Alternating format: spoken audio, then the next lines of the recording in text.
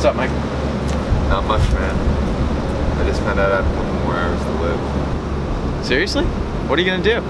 Just, just what I usually do, I guess. I mean, I might go get a cheeseburger or something. I haven't had one of those in a while.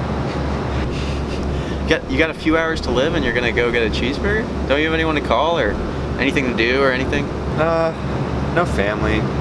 No one I like particularly care about. Well, I mean, I found out so late. Like, what am I supposed to do? Can't really go anywhere or do anything. Wish I could help you, man. But if I'm late to class right now, my teacher's gonna kill me. Feel better, I guess. Sorry, man. I'll see you.